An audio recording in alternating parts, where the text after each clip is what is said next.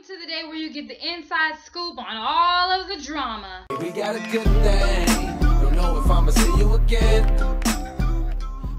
Hi everybody, my name is Amber and I am the Black Directioner. And it's another Woah Wednesday where we talk about the things that are blowing up in our fandom. As always, we're gonna start with the least problematic, which this week was Harry. Literally, I don't know if anybody else has seen Harry, but he hit a Niall and you know, he's just not here. He just left the face of the earth. So I don't know where Harry is. I don't know what he's doing. I don't know what he's up to. The only thing I know is that he's nowhere to be found. The Styles family got hacked, which I guess is why he's probably not here. I don't know. He he just ain't been here. Um, but his mama is back on Instagram, but she's on private now. But you know, other than that, ain't nothing really going on with Harry. So we're gonna move to the next person, which is Niall. Okay, best thing to ever happen. Niall got a Snapchat. Now I'm not sure if he's been like having a Snapchat and he just now made it like uh public for everybody to go and look at. But as far as I'm concerned, he just got a Snapchat. It's free and open to the public. It's right there. Um, if you want to go and follow it, my Snapchat's right there too. If you want to go and follow it, uh-huh, self promotion. And he's so hilarious, and I love seeing his face, and I look forward to him posting. And it just it just made things better for us, but maybe it made things worse for him because he got caught in a white lie. So he had tweeted, he had tweeted and he had said, one of them Saturdays where I don't want to leave the house. And then he takes a picture of him in a train and then he goes out that night, you know, like he he was like legitly partying with folks and everything and we was just like why you lie to like that? You know you had to lie to like that. So he had took another picture on snapchat and there's a phone on the table like a full-blown new ass iphone on the table while he's using his iphone to take the picture so you know everybody's investigating everybody's all like why why you got two phones so niall has two phones Therefore, Niall is cheating. He better be cheating on me though. I don't know who else he's cheating on, but it ain't me. That's that's phase two that has gotten Niall in trouble for using Snapchat. So will he continuously keep it?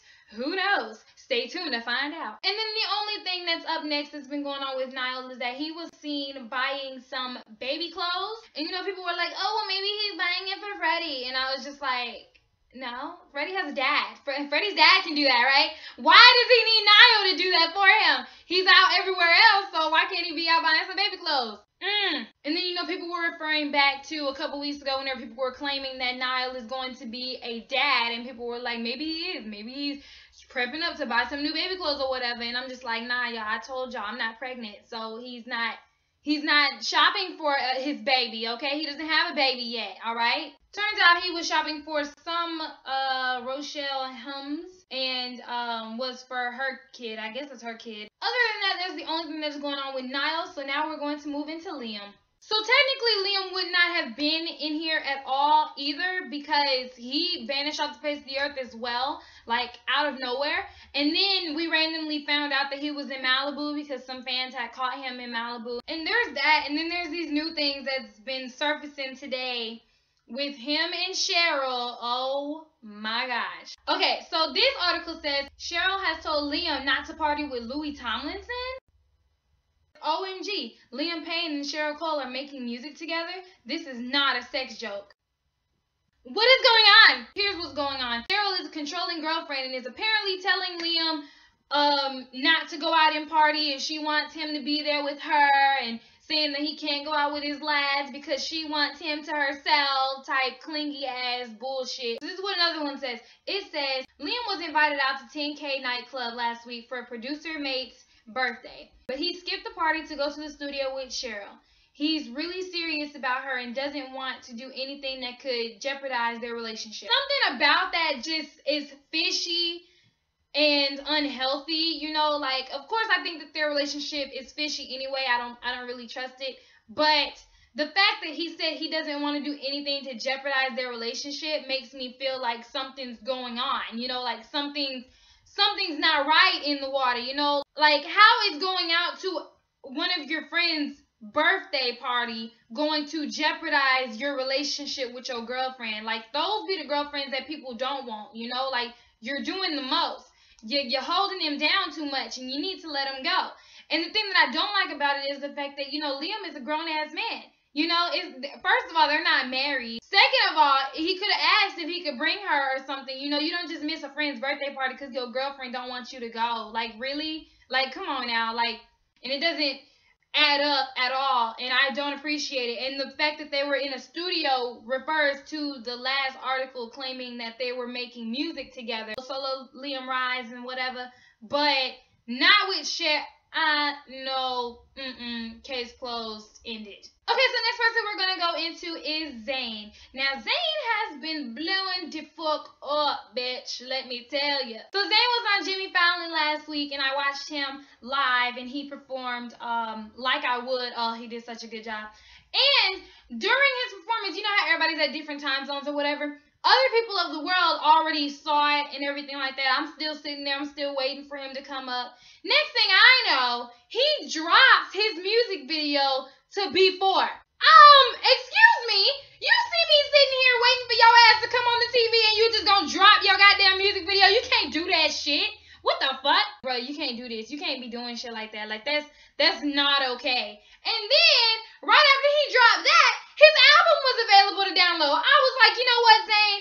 I don't have time for you and your nonsense. Get the fuck. So Zayn dropped his album on Friday, March 25th, as we all know. His album is fire, like it's lit as fuck. I love it. He's doing a bang ass job. Zayn currently has 11 songs in the iTunes US Top 150, more than any other artist. Zayn is currently the most successful artist on iTunes worldwide, and it had reached number one on iTunes in more than 70 countries. Zayn Malik has now replaced Justin Bieber as the number one artist on Spotify worldwide. That's amazing. Like I'm so proud of Zayn. Like he he's killing it. On Zayn's album, he only has one person that features with him, and that is Kehlani, and she's on the song Wrong.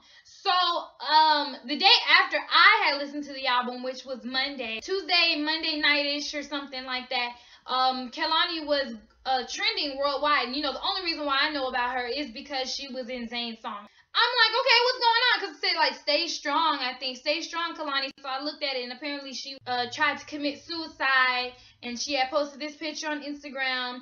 Um, I'm not gonna read it, but you know, if you want to read it, pause it. Feel free to look at it. It's no longer on Instagram. And you know, like it, it hit my heart because I was like, yo, because like she she's she's good at what she does, you know. And I was like, man, what happened, you know? And I was sitting there and I'm just like, man, I hope Zayn, you know, talked to her or like, you know, called her, texted her something, you know, and everything. So I just wanted to put that out there and I just wanted to say that I, you know, I'm happy that she didn't commit. I'm happy that she is still alive.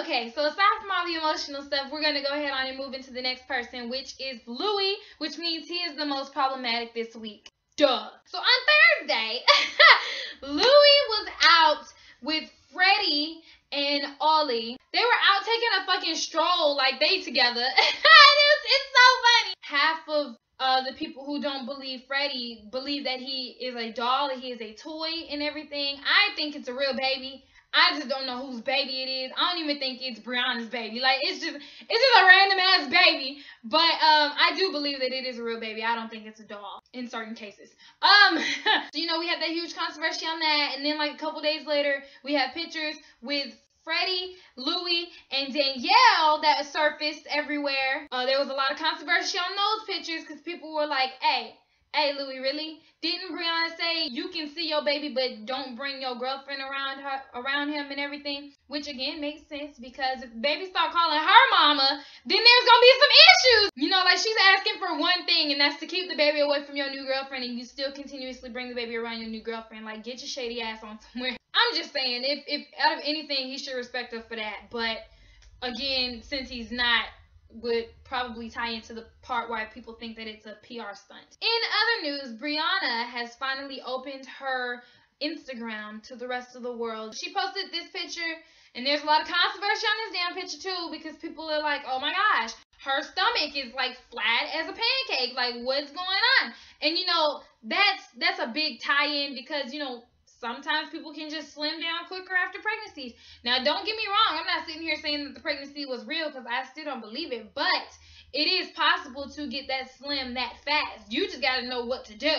And then these are pictures that Briana had posted on her Snapchat, apparently. And it says that she hasn't been on her Snapchat since August. August was pretty much whenever Baby Gate has started. What people's theory is is that since she's being open and since you know her she's back on her Snapchat and whatnot, people feel like her job in this whole fiasco is starting to end. So pretty much people are claiming that Baby Gate is supposed to be ending soon. You know, we've been claiming this for months.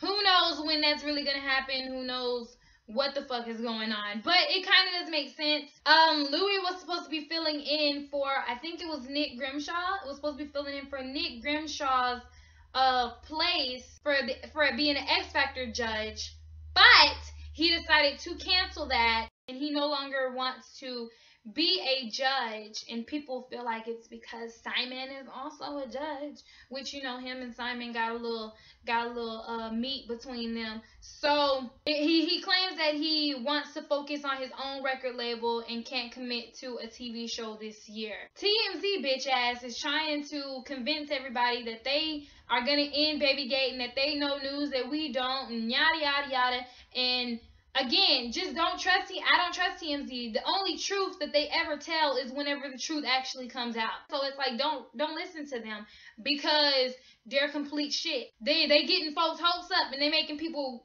genuinely think that they know what's going on. They don't know nothing about what's going on, you know? And there's one last thing that we're going to jump into, and that is all One Direction news put together. So, if anything, this is a picture that is literally flying around the fandom so fast. This is a man but it's something that, you know, everybody wants to really happen. Yo, if something like this really happens, yo, I'ma pass out. And last but not least, we have more breakup rumors. They're claiming that Simon Cowell isn't sure if it's a hiatus or a breakup. So there's been a lot of things going around talking about that, claiming that um, One Direction are permanently on this hiatus and that it's just a full-blown breakup or that they've been thinking about just breaking up. So again, it's all based on your thoughts.